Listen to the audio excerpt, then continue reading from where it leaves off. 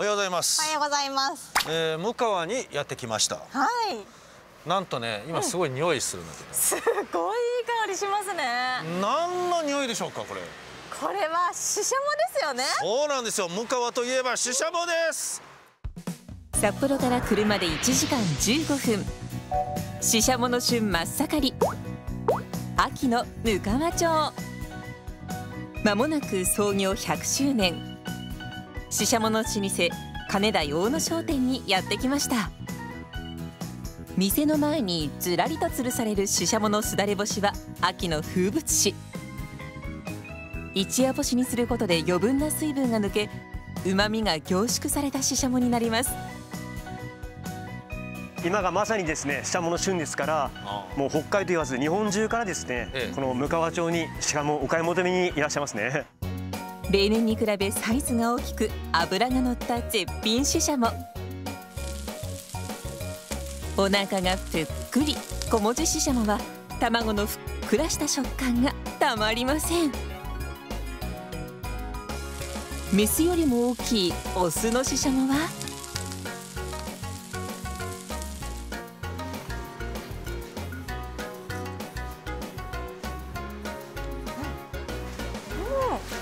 どうでしょう？この油の乗りが本当にすごいですね。はいシシャモってこんなに油乗ってるんですかってぐらい。これが本物のシシャモなんですねえー、味が濃い。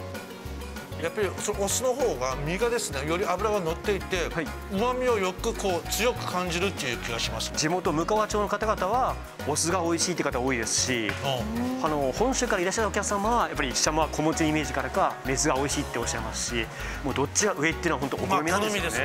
えいやどっちもうまいわ。すだれ干しを楽しめるのは今月末まで向川に来たらシシャモを食べないと始まりません。ね、向川といえばシシャモですけど、はい。まだまだありますから。なるほど。今回のラブ北海道は知られざる向川の魅力。飛び出すからねびっくりしないでよ。はい。おお、なすごい。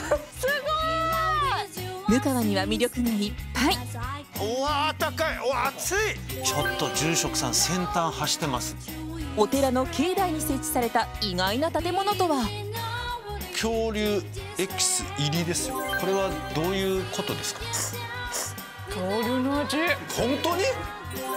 向川で採れた鮭を使った絶品ワイルドグルメ。はいガブッと。鮭の一番美味しいところはね頭です。びっくり